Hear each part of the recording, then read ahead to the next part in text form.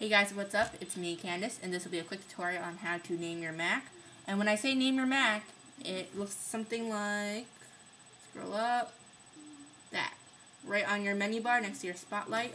It adds a little bit more uh, personalization onto your Mac, and I think it looks kind of cool. So first you do, you go into System Preferences,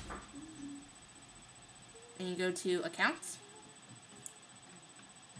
And there you'll see your user account and the very awkward picture of myself. And the next thing you have to do is um, click the unlock and you'll be asked to ask, type in your password. Once you're in, you must go into the login options right there.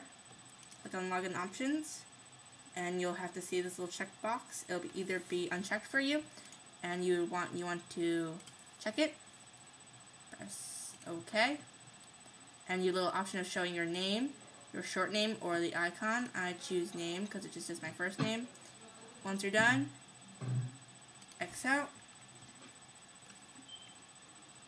And voila, your name, your username for your computer will be showing right next to your spotlight. So everyone can know that you own that special Mac. Thanks for watching.